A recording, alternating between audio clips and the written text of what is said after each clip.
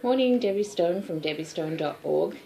And I was wondering how many of you struggle with um, asking questions when you are recruiting someone for your business. I happen to have a list of 30 in front of me, and I'd like to share 10 of those questions with you today.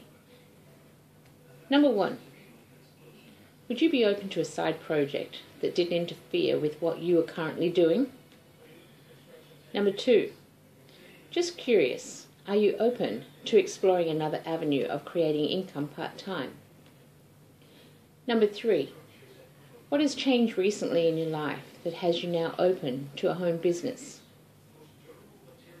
Number four, have you ever wondered if there was a way to make money using Facebook? Number five, do you ever get the feeling that you are meant for something great? Number six, removing money from the situation.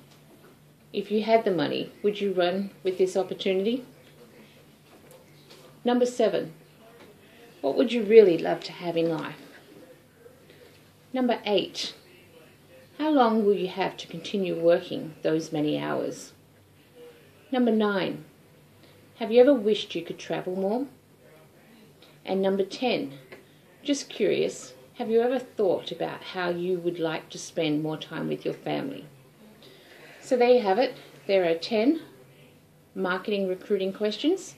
I have 30, and if you want to hear the other 20, I'll have them listed on my blog. I'll have the link posted above.